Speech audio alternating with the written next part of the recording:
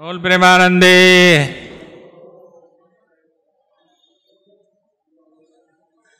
तो आज एकादशी है, एकादशी के दिन प्रभुपाद जी का लीलामृत सदैव पढ़ा जाता है। तो शिल प्रभुपाद लीलामृत द्वितीय भाग का पेज नंबर 184 तो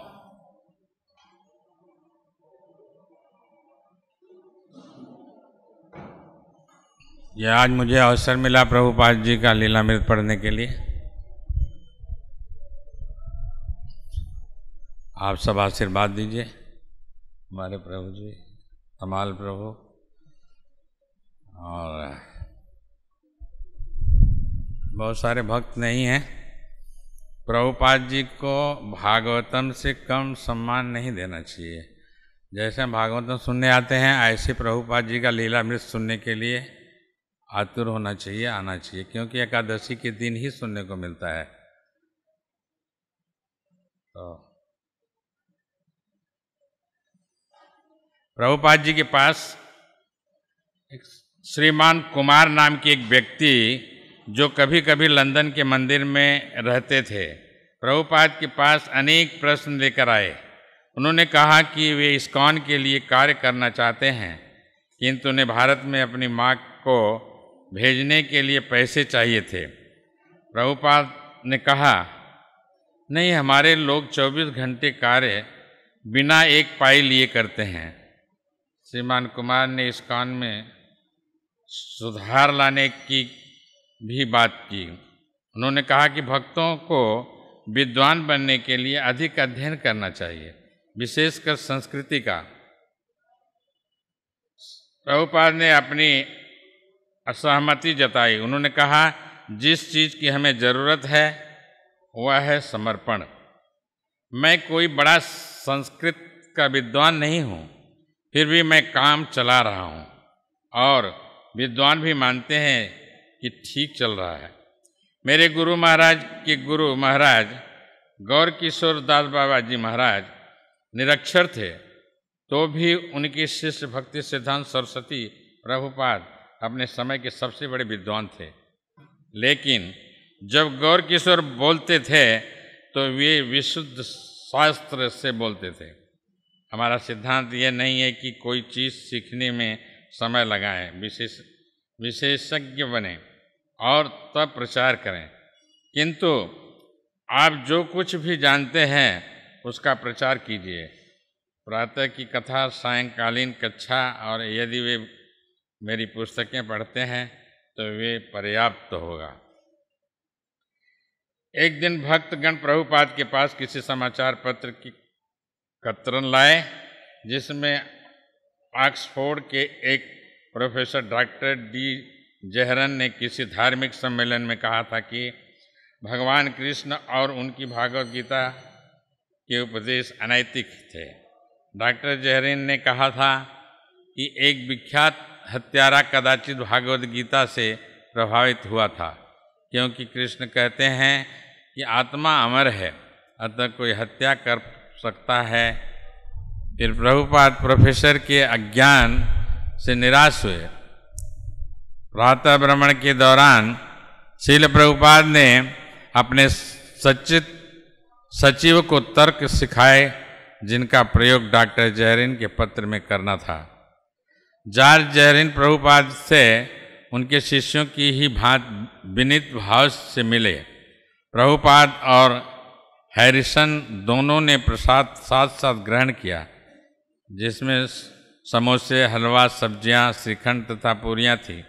जब वे प्रसाद का आनंद ले रहे थे प्रभुपाद ने उल्लेख किया कि वृंदावन के कुछ पंडे बड़े खाऊ होते हैं। एक बार एक ने तो इतना खा लिया कि वह मरने लगा है। किंतु उसने पुत्र को अस्वस्थ किया। इतना तो है कि मैं खाने से मर रहा हूँ। भूख से नहीं, भूख से मरना आयकर है। जॉर्ज से बातें करते समय प्रभुपाद मुस्करा रहे थे और मनोरम, मनोर के दान के लिए उनके प्रति कृतज्ञ व्यक्त कर रहे थे। उन्होंने कहा, क्या आपने मेरा कमरा देखा है? यह वास्तव में आपका मकान है, किंतु कमरा मेरा है। चार्ज ने प्रतिरोध करते हुए शिष्य जैसे विनम्र स्वर में कहा, नहीं, यह कृष्ण का घर है और कमरा आपका है। जब जहाज़ ने प्रभुपाद से एकांत में कहा कि कृष्ण भक्ति अंगीकार करने से उनके मूत्र छूटते जा रहे हैं तो प्रभुपाद ने कहा कि चिंता मत करो उन्होंने गीता से पढ़कर यह उद्धरण उसे सुनाया, जिसमें कृष्ण कहते हैं कि मुझे केवल भक्ति के द्वारा जाना जा सकता है। जहाज़ ने कहा, भविष्य में इसकान इतना विशाल हो जाएगा कि इसे कार्यकारी प्रबंध की आवश्यकता होगी। प्रभुपाद, मैंने संसार को बारह मंडलों में विभाजित कर दिया है, जिसके बारह प्रतिनिधि हैं। जब तक ये आध्यात्मिक सिद्धांतों का पालन करते रहेंगे, तब तक कृष्ण उनकी सहायता करेंगे। जाने की पूर्व जहाज़ ने प्रभुपाद का विश्वास दिलाया कि वह मंदिरों की संख्या बढ़ाने में उनकी सहायता करेंगे। बाद में प्रभुपाद ने टिप्पणी करते हुए कहा जहाज़ को कृष्ण से आंतरिक आशा मिल रही है। यह एक दिन एक पुरा, पुराना परिचित व्यक्ति एलेन गिंग्सबर्ग आटप का वह डेनिम्स गेलिस। और एक पुरानी कमीज पहने था और एक भारत निर्मित छोटा हारमोनियम लिया था। प्रभुपाद ने पूछा, तुम अभी भी हरे कृष्ण का जप करते हो? एलेन ने उत्तर दिया हाँ मैं अभी भी हरे कृष्ण का जप करता हूँ, किंतु मैं दूसरी चीज़ों का भी स्वागत करता हूँ। एलेन ने पूछा क्या आप मेरा जप और हारमोनियम बजाना सुनना चाहेंगे? प्रभुपाद ने सिर हिलाकर उसका स्वागत किया। एलेन ने हारमोनियम बजाते हुए ओम का जब आरंभ किया। हर बार ओम कहने में उसका स्वर गहरा होता जा रहा था। ओम जब जब समाप्त हुआ, प्रभुपाद हंसने लगे। उन्होंने कहा, तुम जो कुछ जपना चाहो, जप सकते हो। किंतु हरे कृष्ण जप करते रहो। जब तक हरे कृष्ण का जप करते रहोगे, बाकी सब कुछ ठीक है। तब प्रभुपाद ने अनेक भक्तों को एक महान आनंदप्रद कीर्तन में भाग लेने की अनुमति दी। जॉर्ज हैरिसन के माध्यम से एक अन्य सुप्रसिद्ध पाप गायक और संगीतज्ञ डोनोवन हरे कृष्ण आंदोलन के महान नेता शील प्रभुपाद के पास भेंट करने के लिए आया।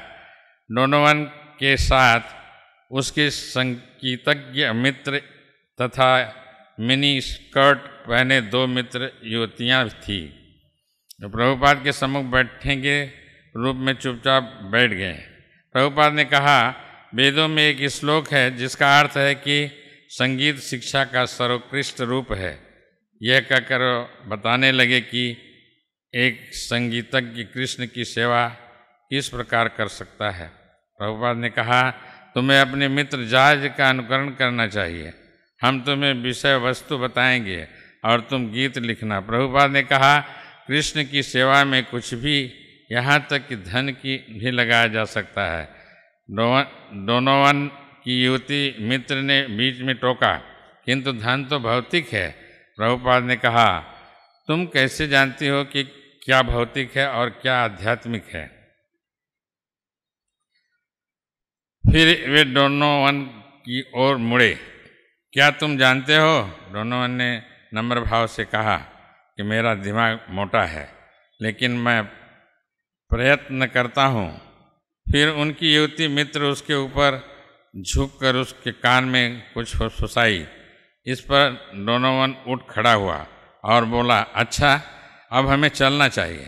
प्रभुपाद ने आग्रह किया कि कम से कम कुछ प्रसाद तो ग्रहण कर लें। जब ही अतिथि गए, प्रभुपाद और उनके शिष्य हंसने लगे। प्रभुपाद ने कहा, वह सोच रही थी और उन्होंने शिष्यों को वाक्य पूरा करने को प्रोत्साहित किया योगेश्वर बोला हाँ वह सोच रही थी कि यदि कृष्ण उसे स्वीकार कर लेंगे तो प्रभुपाद को अपने महत्वपूर्ण अतिथि के समक्ष प्रवचन करना इतना पसंद था कि वे जहाँ भी जाते थे, ऐसा करते रह, करते रहना चाहते थे। उन्होंने अपने एक शिष्य को एक पत्र में लिखा, जहाँ भी मैं जाऊँ, कृष्ण भावना मृत आंदोलन के विषय में महत्वपूर्ण व्यक्तियों को मुझसे बातें करने के लिए आमंत्रित करने की यह नीति पूरी तरह जारी रखनी चाहिए। मनोर मनोर में एक मास बीत गया, किंतु जन्माष्टमी तथा प्रतिमा स्थापन स्थापना के लिए अभी कई सप्ताह शेष थे अतः जब भगवान ने प्रभुपाद को प्रेरित आकार राधा कृष्ण शिव विग्रहों को स्थापित करने को आमंत्रित किया तो प्रभुपाद ने उसे स्वीकार कर लिया। पेरिस 9 अगस्त उन्नीस सौ तिहत्तर। भक्तों ने सिटी हॉल में प्रभुपाद के सरकारी अभिनंदन का प्रबंध किया था। पेरिस के मेयर और उनकी सरकार के अन्य अधिकारियों की उपस्थिति में प्रभुपाद ने कहा कि यदि सरकारी नेता नागरिकों को प्रमाणिक ईश्वर भक्ति की शिक्षा दे, नहीं देते तो वे उत्तरदायित्वपूर्ण नेता नहीं हैं। अगले दिन के समाचार पत्र में संवाददाता ने इस भाषण को इस तरह छापा कि स्वामी ने नेपोलियन बोनापार्ट तक की आलोचना की। भगवान, पेरिस के चार रयुलेश्योर मंदिर में हमारा प्रवेश अभी हाल में ही हुआ था। हमने राधा और कृष्ण के 48 इंच के अर्चा विग्रह प्राप्त कर लिए थे। प्रभुपाद प्रद्युम्न से मंत्रोच्चारण कराकर अर्चा विग्रहों को पूजा सामग्रियों अर्पित कर रहे थे और स्वयं व्यास आसन पर बैठे बैठे निर्देश दे रहे थे। मैं सहायता कर रहा था। एक बार जब मैं पूछा, मुड़ा तो मैंने देखा कि प्रभुपाद मेरी पी, मेरी ठीक बगल में खड़े हैं। और वस्तुएँ अपने हाथ से लेकर उन्हें श्रीमती राधा रानी के कमल जैसे मुख पर पोत रहे थे। जब श्री विग्रह वेदी पर स्थापित हो चुकी तो शिल प्रभुपाद ऊपर आए और उन्होंने आरती की वस्तुएँ दे देकर मैं उनकी सहायता कर रहा था। स्थापना के बाद हम ऊपर शिल प्रभुपाद के कमरे में गए और उनसे आग्रह किया कि कृपा पूर्वक शिव विग्रहों के नामकरण करें। वे अपनी कुर्सी में बैठ गए और बोले कि ये शिव विग्रह राधा पेरिस ईश्वर कहलाएँगे। फिर वे कहने लगे कि भारत के लोग शिक्षा के लिए, इंग्लैंड और इंद्रिय तृप्ति के लिए पेरिस इसलिए आए हैं कि उन्हें कुछ युवतियाँ, कुछ फ्रांसीसी लड़कियाँ मिल जाएँ, क्योंकि पेरिस की स्त्रियों के मुखमंडल सबसे सुंदर माने जाते हैं। प्रभुपाद ने कहा, राधा रानी इतनी सुंदर हैं जैसे कोई पेरिस की लड़की हो, और कृष्ण इन सबसे सुंदर लड़की की खोज में आए हैं। अतः वे पेरिस ईश्वर है। इसलिए पेरिस ईश्वर भगवान का नाम रखा। अगस्त पंद्रह प्रभुपाद लंदन वापस आए, जहाँ उन्हें भारत से ताज़ा डाक मिली। हैदराबाद में इस कान की ज़मीन के करारनामा के संबंध में कानूनी उलझने पैदा हो गई। प्रभुपाद ने अपने शिष्य महांस को लिखकर आग्रह किया कि वह बम्बई के मामले की तरह हैदराबाद में एक नए मामले में न फंसे। जब प्रभुपाद को यह समाचार भी मिला कि वृंदावन निर्माण कार्य प्रगति पर है तो उन्होंने लिखा मुझे यह जानकर प्रसन्नता हुई कि तुम लोग वृंदावन मंदिर की योजना को पूरा करने में किसी प्रकार लगे हो और अपने मस्तिष्क पर भार डाल रहे हो कि यह योजना कैसे पूरी हो। मैं कृष्ण से भी सदैव प्रार्थना कर रहा हूँ कि वे इसे अच्छी तरह पूरा करने के लिए तुम लोग को सुबुद्धि दें। हवाई की एक शिष्य को लिखे गए पत्र में प्रभुपाद ने खेत प्रकट किया कि वे उसे पहले नहीं लिख सके। मैं बम्बई में जूहू की ज़मीन के बारे में जो श्रीमान यन की, श्रीमान यन की थी, बहुत व्यस्त था। अब वह मरकर अपनी गति को प्राप्त हो गया है, लेकिन उसने हमारे लिए कितनी कठिनाई पैदा कर दी थी। अब भी कुछ कमी है, लेकिन मुझे आशा है कि उसे शीघ्र दूर कर लिया जाएगा।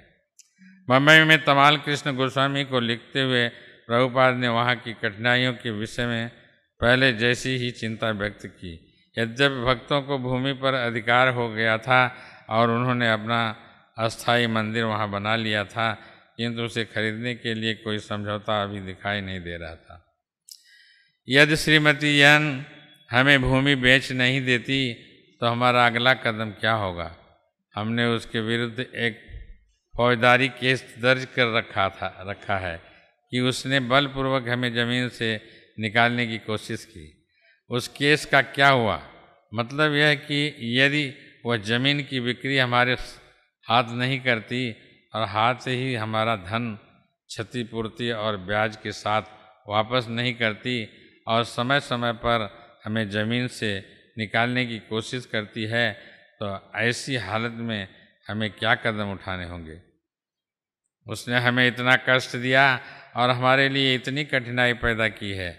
और प्रभुपाद ने मायापुर में अपने शिष्यों को लिखा तो मायापुर का निर्माण कार्य मेरे वहाँ पहुँचने के पहले अच्छी तरह पूरा हो जाना चाहिए। जब मैं अगली बार वहाँ आऊँ तो न तो वहाँ कोई मजदूर होने चाहिए और न खटखट करने वाले बढ़ई। मैं मायापुर में रहा होता, किंतु खटर पटर के कारण मुझे भाग भागना पड़ा। वहाँ का कार्य पूरा हो जाए तभी मैं आ सकता हूँ। अन्यथा नहीं।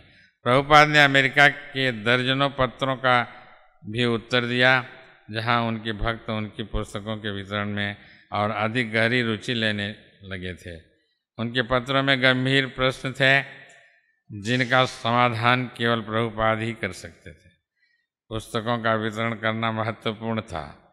क्या भक्तजन अपना चोला छोड़ सकते थे और सामान्य पाश्चात्य वेशभूषा धारण कर सकते थे? जिसने जनता में पुस्तकों के वितरण में अधिक सुविधा हो या सड़कों में संकीर्तन करना पुस्तक वितरण से अधिक महत्वपूर्ण था?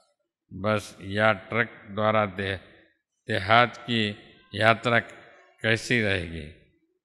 क्या वे ट्रकों में श्री विग्रहों के साथ जा सकते थे? भक्तों ने प्रभुपाद को लिखे, अपने पत्रों में सामान्य रूप से अपने विचारों का उल्लेख किया। किंतु उसे प्रभुपाद के स्पष्ट उत्तर की संपन्नापूर्वक प्रतीक्षा थी। कृष्ण भावना मित्र आंदोलन अब विशाल हो गया था और उनके विशालतर होने की संभावना थी और इस कान के अंदर प्रभुपाद की इच्छा इतनी शक्तिशाली थी कि उनका केवल एक पत्र वर्षों के लिए नीति निर्धारण कर देता था। प्रभुपाद मैनोर के अपने कमरे में शांतिपूर्वक बैठे, नित्य प्रति के अपने कार्य कर्मों में जैसे स्नान करना, प्रसाद ग्रहण करना, संध्या का अभ्यागतों से मिलना आदि में लगे प्रतीत होते थे। किंतु साथ ही वे संसार भर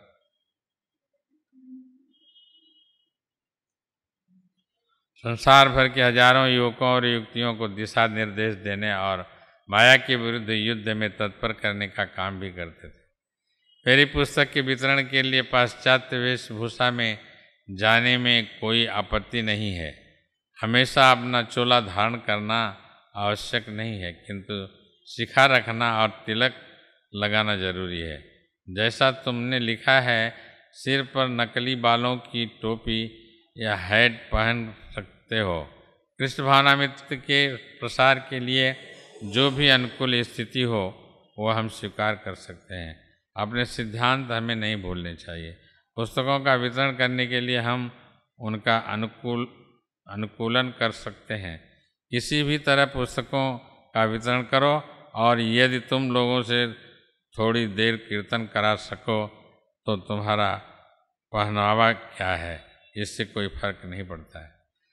भक्तों की ओर से इस स्पष्टीकरण के लिए प्रार्थना बराबर आती रही कि प्रभुपाद की पुस्तकों के बेहद वितरण के उद्देश्य की पूर्ति में वे बाह्य साध, साधन को कहाँ तक न्यायोचित बताते हैं। प्रभुपाद में कोई भौतिक प्रेरणा नहीं थी, इसलिए उन्हें स्पष्ट दिखाई देता था कि कृष्ण भक्ति के प्रचार के लिए क्या करना ज़रूरी है। तुमने जो सचल संकीर्तन दल का और पुस्तकों के विक्रय का प्रश्न उठाया है तो हाँ हमें धन चाहिए। पुस्तकों को विक्रय ही वास्तविक प्रचार है। पुस्तकों से अच्छा कौन बोल सकता है? जो पुस्तकें खरीदेगा वह उन्हें कम से कम देखेगा तो सही। वास्तविक प्रचार पुस्तकों की बिक्री करना है। किसी को नाराज़ किए बिना पुस्तकों की बिक्री की तरकीब तुम्हें आनी चाहिए। तुम्हारे व्याख्यान से लगभग तीन मिनट का प्रभाव होगा। किंतु यदि कोई पुस्तक का एक पृष्ठ पढ़ लेगा तो उसका जीवन ही बदल जाएगा। लेकिन हम किसी को नाराज़ करना नहीं चाहते। यदि तुम्हारे आक्रामक व्यवहार से चिढ़कर कोई चला जाता है तो यह तुम्हारी मूर्खता और विफलता होगी। न तो तुम पुस्तक बेच पाओगे, न वह तुम्हारे पास रुकेगा। किंतु यदि पुस्तक खरीद लिए लेता है तो सफल प्रचार है। मेरे गुरु महाराज का यही प्रमाण पत्र है यदि कोई ब्रह्मचारी एक पैसे की पत्रिका बेच लेता है, या कोई ब्रह्मचारी हमारी पत्रिका की कुछ प्रतियाँ बेच लेता है तो वे बहुत प्रसन्न हो जाते थे और कहते थे कि, ओह, तुमने कितना, तुम कितने अच्छे हो। अतः साहित्य का वितरण हमारा असली प्रचार है। यदि तुम इस मामले में ठीक से नहीं चल सकते तो यह तुम्हारी गलती है। तुम्हारी सफलता इस बात से सिद्ध होगी कि तुमने कितनी पुस्तक बेची है। तुम जो भी चीज़ बेचना चाहो, उसके लिए चर्चा द्वारा कुछ समर्थन जुटाना पड़ता है। इसी से कृष्ण की सेवा के लिए ग्राहक कुछ धन देता है। यह उसका भी सौभाग्य है, क्योंकि वह दिव्य ज्ञान के संबंध में कुछ पढ़ने का अवसर पाता है। लेकिन यदि तुम उसे चिढ़ा देते हो और वह चला जाता है तो ये तुम्हारी मूर्खता या कम बुद्धि होगी। भक्तों को दिए गए प्रभुपाद के निर्देश इतने महत्वपूर्ण होते थे और उनसे प्राप्त कोई पत्र उतना ही प्रभावशाली होता था जितनी उनकी व्यक्तिगत भेंट। ऐसे पत्रों से वे संसार भर में अपने शिष्यों के जीवन और उनके मामलों की देख रेख करते थे। हर दिन दोपहर के पहले वे अपने सचिव को बुलाए और उससे आने वाले प्रश्नों को ज़ोर से पढ़वाते और उनका उत्तर साधारणतया अविलंब लिखवा देते थे। वे प्राय कहा करते थे कि गुरु के शरीर या उनकी व्यक्तिगत उपस्थिति से उनकी वाणी अधिक महत्वपूर्ण है। अतः अपने पत्रों में वे अपने सच्चे अनुयायियों के लिए कृष्ण भक्त, भक्ति का मार्ग बनाते और उसे प्रशस्त करते रहते थे। अमेरिका में प्रभुपाद का प्रचार कार्य मुख्यतः उनकी पुस्तकों के वितरण के माध्यम से चल रहा था, जबकि भारत में मंदिरों की स्थापना से। तब भी दोनों विधियाँ उनके लिए एक जैसी थी, और यद्यप उनकी दृष्टि क्षेत्र में समस्त संसार था, फिर भी वे अपने आप को अपने गुरु महाराज का केवल विनीत सेवक कहते थे। उनका प्रयत्न सदैव अपने गुरु महाराज की सेवा करने का होता। चाहे वह मेनोर के लॉन में बैठे, किसी भी छोटे बच्चे से छेड़खानी कर रहे हों, अपने किसी सहायक या प्रतिबंध आत्माओं के अंचलों में हज़ारों लाखों पुस्तकों की वर्षा कर देते को कह रहे हों, श्रीमद भागवत की तात्पर्य के अगले वाक्यांश के संबंध में पूरे उत्साह और तन्मयता से विचार कर रहे हों। अथवा बम्बई में चल रहे श्रीमती एन के खड़यंत्र पर चिंता कर रहे हों। प्रभुपाद को बम्बई से एक आपातकालीन फ़ोन मिला। गिरिराज चाह रहा था कि वे बम्बई आएँ और श्रीमती एन से स्वयं जूहू की ज़मीन की खरीदारी तय कर लें। गिरिराज ने यह एक नए वकील श्रीमान वाकिल से परामर्श किया था, जिसकी राय थी कि मामला तय करने के लिए प्रभुपाद की उपस्थिति आवश्यक थी। इस कारण की यकीन वकील श्रीमान चंदावल की भी राय थी कि प्रभुपाद का अविलंब बम्बई पहुँचना आवश्यक था। अतः गिरिराज ने प्रभुपाद को फ़ोन करके प्रार्थना की थी कि श्रीमती एन से सदा सदा के लिए निपटारा कर लेना कर लेने के लिए बम्बई आ जाएँ। प्रभुपाद राज़ी हो गए। वे जन्माष्टमी तक एक सप्ताह और लंदन में रह, रहेंगे उसके बाद बम्बई जाएँगे। अगस्त 21 इंग्लैंड में भारत के राजदूत श्रीमान रसगोत्रा जन्माष्टमी समारोह में सम्मिलित हुए और उन्हें प्रभुपाद के महान कार्य की सराहना करते हुए उनका परिचय कराया। प्रभुपाद ने कृष्ण के आगमन को संकटग्रस्त भौतिक संसार की शांति के लिए एकमात्र समाधान बताते हुए भाषण दिया। उन्होंने कहा, विशेष रूप से भारत में ईश्वर को समझने के लिए इतनी बड़ी पूंजी है। वहाँ हर वस्तु है, पहले से तैयार है, किंतु हम उसे स्वीकार नहीं करते। तो ऐसे रोग की औषधि क्या है? हम शांति खोज रहे हैं, किंतु उस चीज़ को स्वीकार नहीं करते जो शांति देगी। यही हमारा रोग है। तो कृष्ण भावनामित आंदोलन हर एक के हृदय में सुप्त कृष्ण चेतना को जगाने का प्रयत्न कर रहा है। अन्यथा ये यूरोपीय और अमेरिकन तथा अन्य देशों के लोग, जिन्हें आज से चार पाँच वर्ष पूर्व कृष्ण के नाम का भी पता नहीं था इसलिए गंभीरता से श्री कृष्ण भावना मृत को क्यों स्वीकार करते? अब कृष्ण चेतना हर एक के हृदय में जाग गई है। प्रभुपाद ने ब्रह्म संहिता से श्लोक सुनाए, जिनमें कृष्ण लोक में कृष्ण के अलौकिक शाश्वत निवास का वर्णन है। उन्होंने समझा कर बताया, किंतु कृष्ण सभी स्थानों में भी हैं। यदि आप भक्त हैं तो आप उन्हें पा सकते हैं। यदि आप उन्हें पाना चाहते हैं तो आपकी इच्छा से दस गुना अधिक बार वे आपकी ओर दौड़ते आते हैं। हमें केवल उनका स्वागत करना चाहिए। मंदिर में श्री विग्रह की उपासना का तात्पर्य कृष्ण की उपासना है। जो परम ईश्वर हैं, उन्होंने अनुग्रह पूर्वक रूप ग्रहण किया है ताकि आप उस रूप की उपासना कर सकें। इसलिए यह न समझिए कि हमारे एक संगमरमर की मूर्ति स्थापित कर दी है। दुर्जन कहेंगे, वे मूर्ति पूजक हैं। नहीं, हम व्यक्तिगत कृष्ण की उपासना कर रहे हैं। कृष्ण ने अनुग्रहपूर्वक यह रूप इसलिए धारण किया है क्योंकि हम उनके विराट अथवा सर्वव्यापी रूप को नहीं देख सकते। कृष्ण की सेवा में 24 घंटे लगे रहिए। इस अर्चा विग्रह की स्थापना का यही उद्देश्य है। सितंबर पंद्रह उन्नीस सौ तिहत्तर यहाँ पहुँचने के लिए दूसरे दिन प्रभुपाद श्रीमती यन के सालिसिटरों से मिले और उनकी शर्तें सुनी। स्थित आशाजनक दिखाई देने लगी थी, किंतु परिणाम का पता नहीं था। मंदिर तोड़ने के अपने प्रयास के विरुद्ध जनता की प्रतिक्रिया से श्रीमती यन बदल चुकी थी। उसने अपने वकील से कहा कि यदि प्रभुपाद एक बार में बारह लाख रुपए का शेष भुगतान कर दें तो वह स्वीकार कर लेगी। प्रभुपाद राज़ी हो गए, किंतु वे तब तक रुपए का प्रबंध नहीं करना चाहते। जब तक उन्हें निश्चय न हो जाए कि श्रीमती यन सचमुच लेने को सचमुच देने को तैयार थी। बम्बई के वकील और इसकान की जीवन सदस्य श्री स्नानी श्रीमती यन से बराबर मिलती रहती थी और उसे समझाते रहते थे।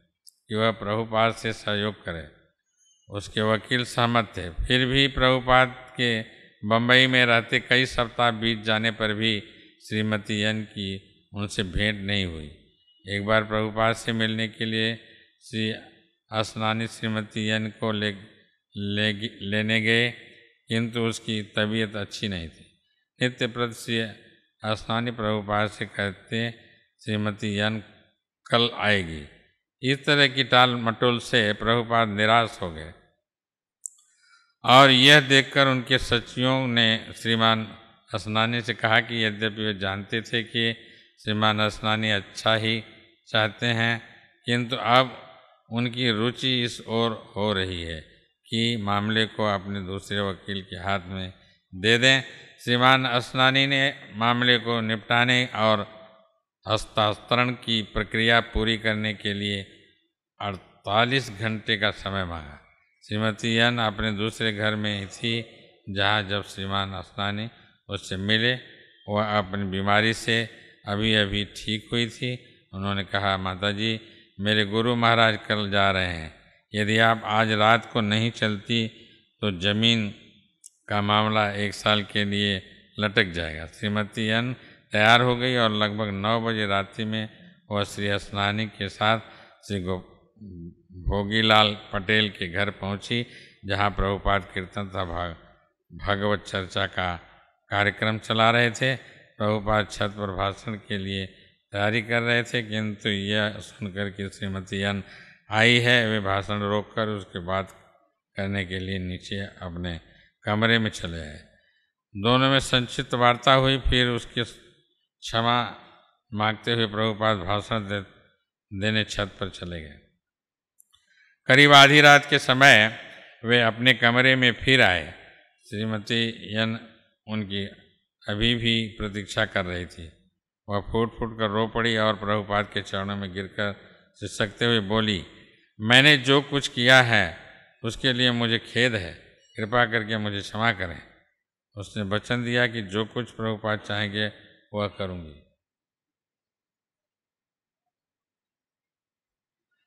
प्रभुपाद ने उसे दया की दृष्टि से देखा और उसके मन की बात समझ ली। उन्होंने कहा, तुम मेरी पुत्री तुल्य हो, चिंता मत करो, मैं तुम्हारी देखभाल करूँगा, तुम्हारे शेष जीवन की भी आवश्यकताओं की पूर्ति मैं करूँगा। और प्रभुपाद ने कहा कि वे अब भी उन सारी शर्तों को स्वीकार करते हैं। जो उसने पहले रखी थी कि वे शेष बारह लाख और विलंब की क्षतिपूर्ति के लिए पचास हज़ार रुपये का भुगतान करें। प्रभुपाद और श्रीमती ने अंतिम रूप से दस्तावेज़ पर हस्ताक्षर के लिए एक नवंबर की तिथि अस्थायी तौर पर निश्चित की श्रीमती एन से भेंट होने के तुरंत बाद प्रभुपाद भोगीलाल पटेल के घर से श्री शेट्टी के घर में चले गए, जहाँ वे शेष समस्याओं को सुलझाने में दत्तचित्त हो गए।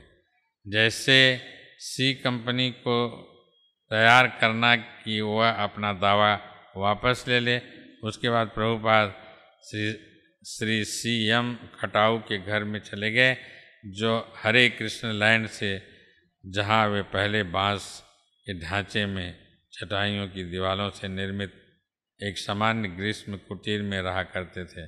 केवल दो ब्लॉक की दूरी पर था। आमतौर पर पट्टों पर हस्ताक्षेप, पुरानी बम्बई में रजिस्ट्रार के कार्यालय में उसकी उपस्थिति में होते थे। किंतु श्रीमान असनानी ने रजिस्ट्रार को प्रभुपाद के स्थान पर आने की व्यवस्था कर दी। शाम को साढ़े छः बजे प्रभुपाद दो खिड़कियों के बीच की दीवार से सहारे अपने सामने एक नीची चौकी रखे हुए बैठे थे। कमरे में श्रीमती यन उसके वकील रजिस्ट्रार श्रीमान असनानी श्री तथा श्रीमती पटेल और लगभग आठ भक्त उपस्थित थे, जिससे कमरा गर्म हो गया था और दम घुटने लगा था। जब रजिस्ट्रार हस्ताक्षर के लिए कागज़ तैयार करने लगा, तब श्रीमती यन प्रभुपाद की दाई ओर बैठी थी। शिल प्रभुपाद विचार मग्न बैठे थे। कमरे में कागजों की सरसराहट और कलम की खिंच खिंच के अतिरिक्त पूर्ण शांति थी। पट्टे के कागजों की तैयारी और उन पर हस्ताक्षर होने में 20 मिनट थे। 20 मिनट से अधिक समय लग गया। प्रभुपाद ने श्रीमती यन को भुगतान किया और उनके पट्टे पर हस्ताक्षर करा दिए। कानून अब भूमि स्कॉन की हो गई।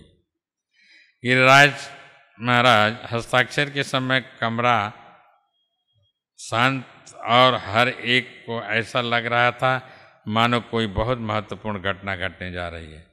मानो विश्व की दो महान हस्तियाँ एक संधि पत्र पर हस्ताक्षर कर रही हूँ। जब श्रीमती यान ने हस्ताक्षर कर दिए तो लोगों ने शांति से कागजों को हस्तांतरित होते देखा वह रोने लगी। तमाल कृष्ण गोस्वामी ने धीरे से उससे पूछा कि, वह क्यों रो रही है? श्रीमती यान ने बताया कि उसी दिन श्री मतर ने आकर उससे कहा था कि उसे एक अन्य खरीदार मिल गया है, जो उसे प्रभुपाद से अधिक धन देने को तैयार है। वास्तव में जब हम सब श्रीमती यन को देख रहे थे तो हम सोच रहे थे कि उस समय उसे वे सारी घटनाएँ याद आ रही होगी। जो पहले हो चुकी थी। जैसे उसने हमारे साथ जो गलतियाँ की थी, उसने पति की मृत्यु महीनों के मिले जुले संघर्षों की तरह समय बड़ा गहन था। जहाँ तक प्रभुपाद भक्तों और प्रभुपाद के शुभेक्षकों का प्रश्न है, उनके वर्षों के स्वप्न, उनकी इच्छाओं और उनके प्रयत्न फलीभूत हो रहे थे। शिल प्रभुपाद ने भक्तों से कहा कि वे समाचार पत्रों में सूचित कर दें। फिर उन्होंने सभी को भोजन के लिए अपने कमरे के बाहर हाल में बुलाया। दो पंक्तियों में चटाइयाँ बिछा दी गई। भक्त पतले ले आए और उन्हें एक एक करके हर एक के सामने रख दिया। दो पंक्तियों में बैठे अतिथियों को भक्तों ने विविध व्यंजन परोसना प्रारंभ किया। प्रभुपाद खड़े थे। वे परोसने को निरीक्षण कर रहे थे। तब वे बोले आरंभ किया जाए। भक्तों ने कई तरह से व्यंजन बनाए थे। चावल, दाल, तरह के पकौड़े, आलू, गोभी तथा बैगन के।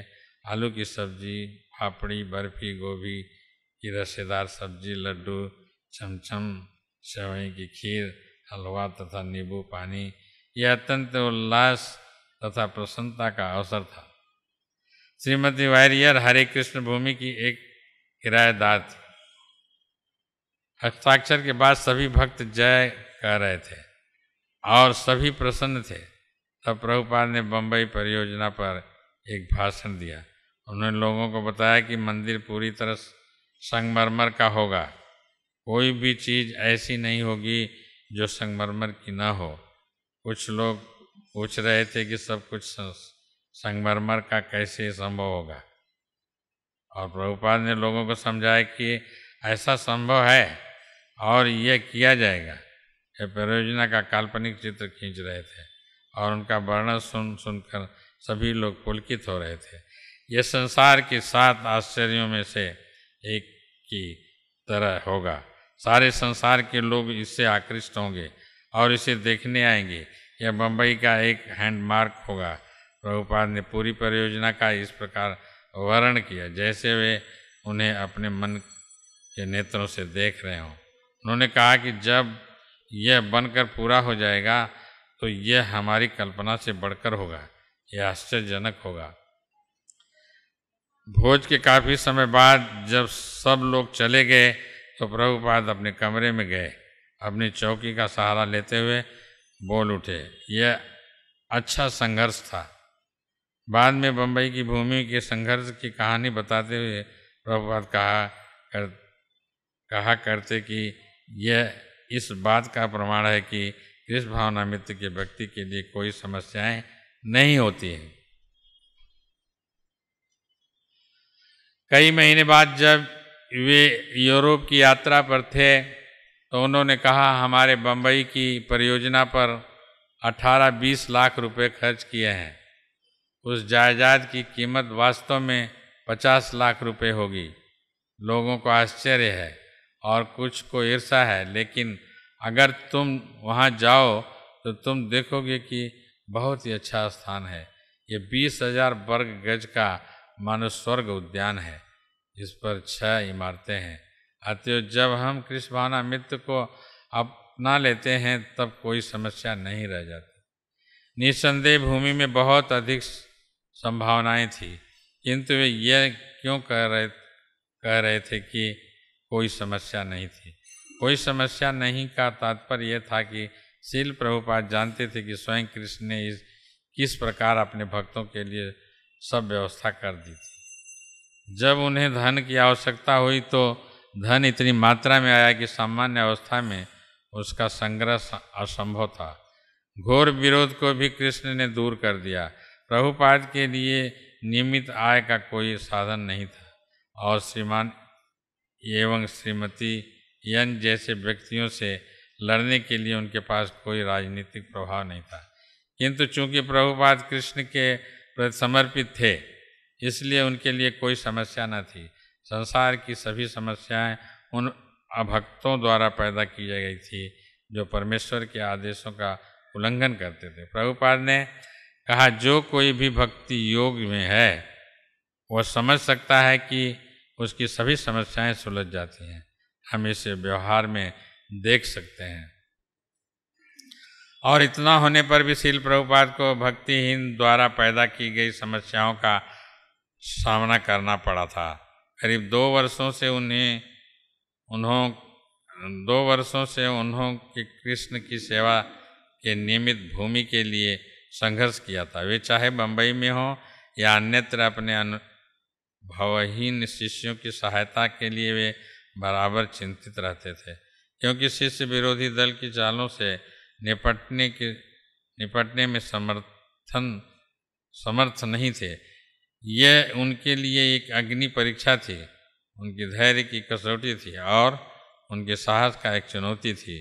किंतु चूँकि वे माया से भ्रमित नहीं हुए थे, इसलिए उनके लिए कोई समस्या नहीं थी। प्रभुपाद ने अपने दृष्टांत से यह दिखा दिया कि यदि कोई श्रद्धापूर्वक भक्ति योग का पालन करता है तो माया उसका स्पर्श नहीं कर सकती।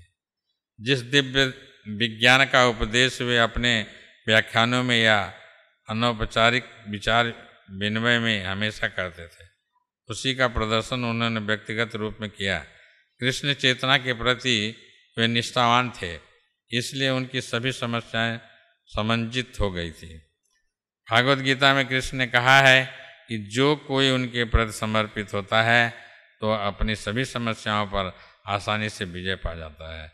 भक्त समझता है कि वह माया की समस्याओं पर विजय कृष्ण अर्पण से हो सकती है। अर्थात कृष्ण प्रतिनिधि गुरु महाराज के आदेशों के प्रति समर्पण से हो सकती है। अब चूँकि भूमि स्कान को प्राप्त हो गई थी इसलिए प्रभुपाद अपने स्वप्न को साकार करने के लिए आगे बढ़ सकते थे। इसमें संदेश नहीं कि इमारतों के निर्माण और कृष्ण भावना मित्र के प्रचार के प्रयासों में उन्हें और अधिक माया जनित समस्याओं का सामना करना पड़ेगा। किंतु सबसे बड़े संघर्ष में उन्हें विजय मिल चुकी थी। श्री श्री राधा राज बिहारी का वैभवपूर्ण मंदिर इसे सिद्ध कर देगा। भविष्य में भक्त और अतिथि भारत के मुख्य नगर में आ सकते हैं और हरे कृष्ण लाइन में प्रथम श्रेणी के होटल में ठहर सकते हैं और मंदिर के आध्यात्मिक वातावरण को सुगमता से अध्यात्मक कर सकते हैं। और भक्तजन जब तक कि प्रभुपाद के आदर्श और निर्देशों को नहीं भूलते, इस अवसर का पूरा उपयोग कृष्ण की सेवा भाव में सफलतापूर्वक कर सकते हैं। प्रभुपाद ने सहिष्णुता और कृष्ण पर निर्भरता का जो मूल्य चुकाया था, वह कभी व्यर्थ नहीं जाएगा। शिल प्रभुपाद ने अपनी सहिष्णुता से न केवल हरे कृष्ण लाइन पर सुविधाओं की सृष्टि की थी और सतत अग्रगामी योजनाएँ चालू की थी, वरन साधु आचरण का जीता जागता उच्च आदर्श की प्रस्तुति किया था। श्रीमद् भागवत में भगवान कपिल देव साधु का वर्णन करते हुए कहते हैं तितिक्षवा करुण का सुहृदम सर्वदेहिनाम अजात शत्रव शांता साधव साधुभूषण साधु का लक्षण है कि वह सहिष्णुता है, दयालु है, सभी प्राणियों के प्रति सुहित है, उसका कोई शत्रु नहीं है, वह शांत रहता है, शास्त्रों का अनुगमन करता है और उसका चरित्र उदात्त होता है। क्योंकि वह सहिष्णुता होता है, इसलिए भौतिक प्रकृति द्वारा पैदा की गई कठिनाइयों से वह क्षुब्ध नहीं होता है। जूहू की जायदाद प्राप्त करने के प्रयत्नों में प्रभुपाद को शत्रुओं और कठिनाइयों का सामना करना पड़ा था, लेकिन वे सहिष्णुता बने रहे। वे कभी कभी कहते थे, आपको सहन करना पड़ेगा। और साधु न केवल तितिक्ष वर्ण करुणिका भी होता है। जब वह इस कान के अस्थाई मंदिर पर पुलिस का आक्रमण हुआ था तो प्रभुपाद इसे संकेत समझकर इस स्थान को छोड़ छोड़ने और विदेशियों में कृष्ण चेतना फैलाने में सहायता करने के प्रयत्न को त्यागने का विचार कर सकते थे। वे कहते थे ओ, ओ वे कह सकते थे इस परेशानी से क्या लाभ ऐसी कोशिशों से क्या मिलेगा? भारत के बाहर वे करीब सौ मंदिरों का निर्माण करा चुके थे। यदि मुंबई के लोग कृष्ण चेतना नहीं पसंद करते तो क्यों न उन्हें उनके भाग्य पर छोड़ दिया जाए और अन्यत्र जाया जाए?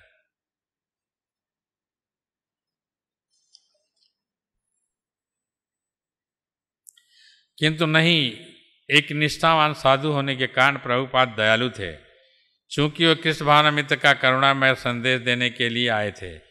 इसलिए हर एक को वह संदेश उन्हें धैर्यपूर्वक देता था। लोग दिग्ध भ्रमित थे और केवल इंद्रिय तृप्ति के लिए पशुओं की तरह जी रहे थे और कर्मानुसार उन्हें अगले जन्म में दुख भोगना पड़ेगा। इस कष्टमय परिस्थिति से द्रवित होकर वे पतित जीवात्माओं की सहायता करना चाहते थे, चाहे वे उनके इस कार्य की सराहना करें अथवा न करें। आप प्रभुपाद जी। श्रीमद् भागवत में भी साधु को सुहृद सर्वदेही नाम कहा गया है। साधु के हृदय में एक ही इच्छा रहती है कि अन्य सबका भला हो। राष्ट्रीयता से बधा नहीं होता। इसलिए वह अपने आप को भारतीय, अमेरिकन या यहाँ तक कि मानव भी न समझकर शास्त्रस्थ जीवात्मा समझते थे, जिसका उद्देश्य सभी प्राणियों का हित करना। श्रीमद् भागवतम में साधु को अजात शत्रु कहा गया है, क्योंकि वह किसी का अपना शत्रु नहीं बनाता। ईर्षालु व्यक्ति अपने आप को साधु का शत्रु कह सकते हैं। किंतु साधु प्रत्येक के साथ सर्वोत्तम मित्र जैसा व्यवहार करता है और उसका प्रयत्न हर जीव को कृष्ण तक पहुँचाने का होता है। शील प्रभुपाद कृष्ण भावना मित्र के प्रसार का प्रयत्न कर रहे थे, इसलिए ईर्षालु लोग लगातार उनका विरोध कर रहे थे। किंतु जैसा कि उन्होंने बम्बई में बड़े उदात्त ढंग से प्रदर्शित किया, हम क्या कर सकते हैं? हम केवल सहन कर सकते हैं। इस प्रकार मंदिर की किसी इमारत की नींव पड़ने के पूर्व प्रभुपाद ने साधु के सभी गुणों को प्रदर्शित कर दिया।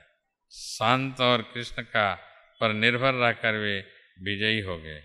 और जो कोई भी ऐसे महान व्यक्तित्व की सेवा करता है श्रीमद् भागवत कहता है कि उनके लिए मुक्ति का द्वार खुला है। शील प्रभुपाद की। आज आप लोगों ने प्रभुपाद जी का ये जो सुना है, इससे मुझे लगता है कि बहुत आप लोगों को ज्ञान प्राप्त हुआ होगा कि प्रभुपाद जी ने यह जुहू मंदिर बनाने के लिए कितना परिश्रम किया था कितना दुश्मनी हुई थी। लेकिन साधु सहिष्णुता होने के कारण, नहीं तो सहिष्णुता नहीं होती तो कह सकते थे, चलो एक मंदिर छोड़ देंगे, यहाँ नहीं बनाएँगे। लेकिन बम्बई के लोगों पर कृपा करके प्रभुपाद जी ने सोचा कि यहाँ के लोग जो इस प्रकार से जी रहे हैं, जानवर जैसे, इन्हें भी मनुष्य जीवन जीने का लाभ मिल सके। इसलिए अथक परिश्रम करके प्रभुपाद जी ने इस ज़मीन को प्राप्त किया। और उन्हें विश्वास था कि अगर शुद्ध मन से भगवान कृष्ण की सेवा करेंगे तो लाभ निश्चित मिलेगा। तो इसी प्रकार से हम सब जो भगवान के मंदिर में हैं, सबका विश्वास होना चाहिए कि हम मंदिर में प्रचार कर रहे हैं तो हम प्रभुपाद जी के चरण चिन्हों का पर चलने का प्रयत्न करें। भागवत गीता वितरण करें, प्रभुपाद की पुस्तकें वितरण करें और उसमें किसी को जैसे प्रभुपाद जी ने कहा कि नाराज़ नहीं करो। जहाँ तक तुम्हारे प्रचार में ताकत हो कि एक पुस्तक पकड़ाने की चेष्टा करो। अगर वो आपसे चिढ़ रहा है व्यक्ति तो आप मत चिढ़ो। आप एक पुस्तक दे दोगे तो आपके तीन मिनट के प्रचार से ज़्यादा प्रभाव उस पुस्तक को पढ़ने पर उसको होगा। इसलिए प्रभुपाद जी के व्यवहार अगर हम अपने शरीर में उतारेंगे और प्रभुपाद जी के सारे प्रयत्नों का अनुसरण करेंगे तो हम भी शुद्ध भक्त बन सकते हैं। अन्यथा अगर हम प्रभुपाद जी को नहीं समझ पाएँगे तो हम बेकार में यह जीवन जी रहे हैं। हम प्रभुपाद जी के मंदिर में क्षति पहुँचा रहे हैं। जब हम प्रभुपाद जी को समझ जाएँगे तो हम भक्ति क्या है वो भी समझ सकते हैं। तो आज का जितना भी ये चार पाँच पेज पढ़ा गया था। इसको आप लोग फिर से पढ़ लीजिए और बार बार पढ़िए कि प्रभुपाद जी बम्बई के लिए कितना संघर्ष किए थे। ये बेच के प्रॉपर्टी मालिक फिर से बदल गया था कि हमें कोई व्यक्ति ज़्यादा पैसा दे रहा है।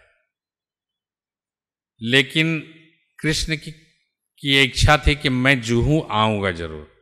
और प्रभुपाद जी को विश्वास था कि राधा राज बिहार का मंदिर का निर्माण जूहू इसी लैंड पे होगा।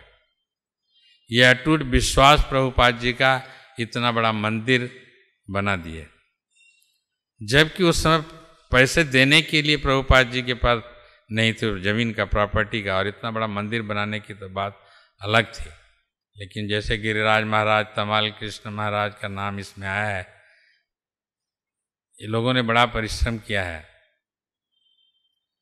प्रभुपाद जी के साथ पूरा दृढ़ विश्वास से साहसपूर्वक लगे रहे। इसलिए ऐसे ऐसे सन्यासियों का हमें आदर करना चाहिए जिन लोगों ने ये मंदिर बनाने के लिए अथक प्रयास किया और उस अथक प्रयास का परिणाम हम सब सुख भोग रहे हैं। गिरिराज महाराज जैसे एक, एक माता जी का नाम आया है गिरिराज महाराज के बारे में बताती थी कि गिरिराज महाराज ब्रह्मचारी थे, हमारे घर में आके सोते थे। और हम लोग एक हाल पूरा खाली रखा था भक्तों के लिए। और बाकी जितने टेनेंट थे, चार पाँच बिल्डिंगों में सब दुश्मनी रखते थे। और वही माता जी उनको सेवा करती थी उन लोगों को। क्योंकि वो समझ गई थी कि प्रभुपाद जी अपने लिए कुछ नहीं कर रहे हैं। विश्व कल्याण के लिए कर रहे हैं। इसलिए वो माता जी ब्रह्मचारियों की सेवा करती है। आज प्रभुपाद जी के पुस्तक में उनका नाम है आइयर करके। उनका नाम अमर हो गया। युग युगांतर जब तक कृष्ण भावना मृत चलेगा, उनका नाम भी साथ में रहेगा। जो भी पढ़ेंगे प्रभुपाद जी का लीला मृत उसमें उनका नाम आएगा। तो हमारा कहने का तात्पर्य है कि हम प्रभुपाद जी को ज्वाइन किए हैं तो हम निस्वार्थ भाव से, जैसे किसी ने आके बोला, हमारी माँ के लिए पैसा दे दीजिए। तो उन्होंने कहा कि हमारे भक्त जो है चौबीस घंटा बिना कुछ लिए सेवा करते हैं। प्रभुपाद जी ने ये नहीं सोचा कि बड़ा विद्वान आदमी है तो इससे इसकी माँ के लिए भाड़ा दे दूँ तो हमारा प्रचार और अच्छा चलेगा। प्रभुपाद जी को प्योटी के ऊपर विश्वास था। शिक्षा के ऊपर नहीं, कि आध्यात्मिक शिक्षा कोई प्राप्त किया है, संस्कृत का बहुत बड़ा ज्ञाता है तो उससे हमारा मंदिर चलेगा। प्रभुपाद जी जानते थे कि प्रभु के प्रति भक्ति ही इस प्रचार कार्य में काम कर सकती है। विद्वान कुछ नहीं कर सकता है। तो उन्होंने कुछ, उनको दिया नहीं।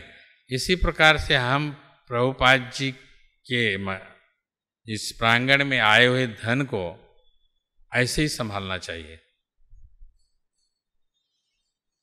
ऐसा नहीं सोचना चाहिए कि चलो हमें सत्ता मिली है तो हम उड़ा दें। एक एक पैसे का प्रभुपाद जी ने बहुत सावधानी से प्रयोग किया है। उसी तरह से हम लोगों को भी प्रभुपाद जी के इस धन का अच्छी तरह से प्रयोग करना चाहिए। दुरुपयोग नहीं होना चाहिए। इसलिए आज का जो चैप्टर इतना अच्छा है लगा मुझे कि मेरा, मुझे तो लगा कि मैं बीच में रोने लगूं। कि प्रभुपाद जी ने कितना संघर्ष किया है देश कल्याण के, जीव कल्याण के लिए। इन, इसमें उनका कोई स्वार्थ नहीं था। ये इतना बड़ा भवन निर्माण करने के लिए प्रभुपाद जी का कोई स्वार्थ नहीं था। अपने परिवार के लिए नहीं बना रहे थे। जीव कल्याण के लिए। साधु जो होता है, पर दुखी दुखी होता है। नारद जी पूरे पृथ्वी पर भ्रमण करते थे, लेकिन जिसको अनाचार करते हुए देखते थे, उस पर बड़ा दुखी होते थे। वो ये नहीं सोचते थे, बदमाश आदमी मुझे मार देगा। वो जाके उसको प्रचार करने लगते थे। सोचते थे कि ये अनाचार से बच करके भगवान का भक्ति करें। तो प्रभुपाद जी ऐसी गुरु हैं, ऐसे साधु हैं मैं तो इन्हें ऑर्डिनरी साधु नहीं मानता हूँ। मैं तो ये भगवान के पैगंबर, भगवान के प्रतिनिधित्व तो करने के लिए धराधाम पर आए पूरे विश्व भर में आज तक कोई ऐसा साधु पैदा नहीं हुआ है और पैदा होने वाला भी नहीं है।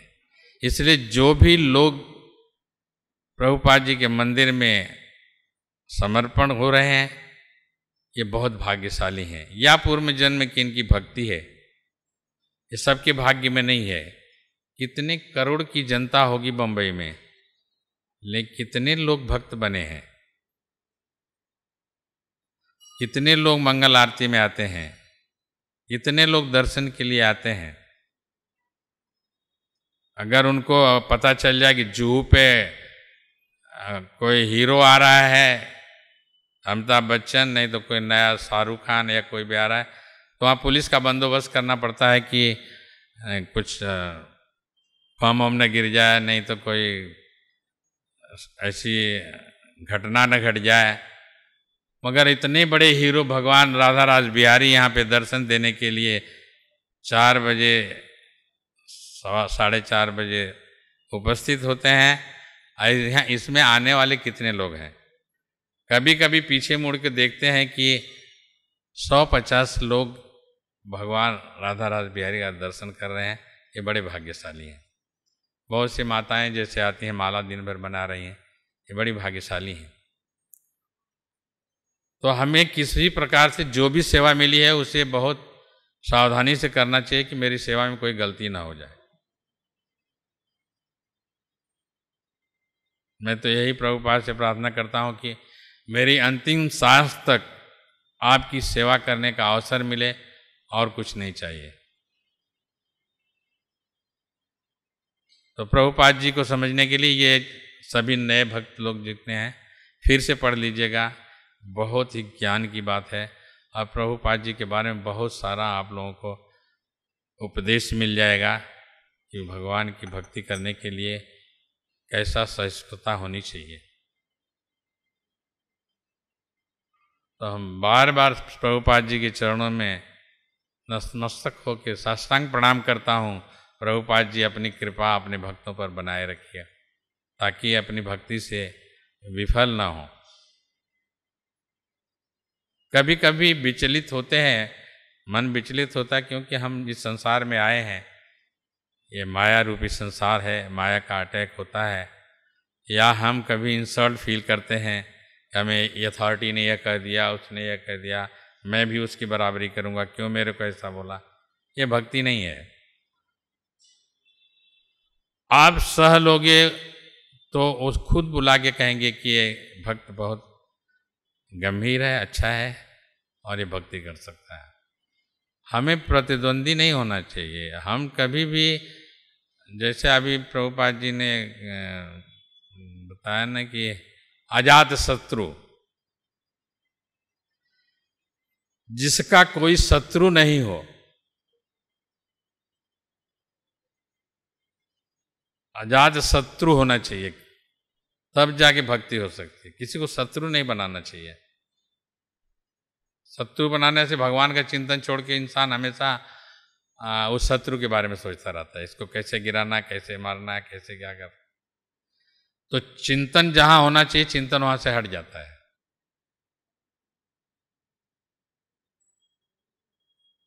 अजात शत्रु, भक्ति के लिए अजात शत्रु शब्द जो है, बहुत गर्वित है।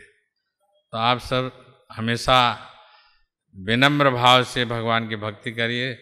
प्रभुपाद जी को जितना अधिक प्रणाम कर सके, उतना अधिक प्रणाम करिए। हम तो आप लोगों से उम्र में बहुत काफ़ी हो गए हैं, लेकिन सोचता हूँ जितना बार मंदिर में आऊँ, भगवान, प्रभुपाद जी को प्रणाम करूँ, भगवान को प्रणाम करूँ। तो आप तो नवयुवक हो, आप तो हज़ार बार भी प्रणाम कर सकते हैं दिन भर तो जितना प्रणाम करेंगे, उतना प्रभुपाद जी की कृपा मिलेगी आप लोगों को। और प्रभुपाद जी के बताए हुए रास्ते पर चलेंगे, आपकी ये भक्ति अजय अमर होगी और आपका लोक परलोक दोनों ठीक हो जाएगा। कभी मत सोचना कि हम क्यों भगवान के मंदिर में आ गए। यहाँ पे भाग्यशाली लोग आए हैं। जो भी यहाँ भक्त बने हैं, ये बहुत पूर्व जन्म की भक्ति है। एक क्षण भी रहने का अवसर मिला है तो प्रभुपाद जी बताते थे कि किसी का कदम एक दिन के लिए, एक क्षण के लिए आता है तो वो उसके पूर्व जन्म की भक्ति है। चाहे वो एक ही दिन दर्शन करने ज़िंदगी में आया हो लेकिन भगवान की विशेष कृपा है उसकी। और प्रभुपाद जी ये बताते थे कि जो मंदिर में दर्शन करने आते हैं, वो मंदिर के गेस्ट हैं, मेहमान हैं। उनका जहाँ तक हो सके आदर करना चाहिए। उनसे कभी गुस्से से बात नहीं करना चाहिए। क्योंकि इतनी बारिश हो रही है, लेकिन बहुत भक्त मैं देखता हूँ कि इतनी बारिश में आए दर्शन करने के लिए तो श्रद्धा है तभी तो आए हैं। हम लोग तो छाया में प्रभुपाद जी के बैठे हैं, लेकिन वो चल के आए हैं, चाहे बिरार से बोरी वाले से, कल्याण से बम्बई के किसी कोने से आते हैं तो उनको देख के सोचना चाहिए कि इनके अंदर भक्ति है, तभी तो इतनी बारिश में यहाँ तक भीगते हुए आ रहे हैं। वो सारे भक्त हैं। प्रभुपाद जी के प्रांगण में जो आते हैं, सब भक्त हैं, उनका आदर करना चाहिए। तो इन्हीं शब्दों के साथ शायद समय भी हो गया। और एक बार ज़ोर से शील प्रभुपाद जी का जयकारा लगाइए आप लोग। शील प्रभुपाद की! जगत गुरु शील प्रभुपाद की! बोल प्रेमानंदे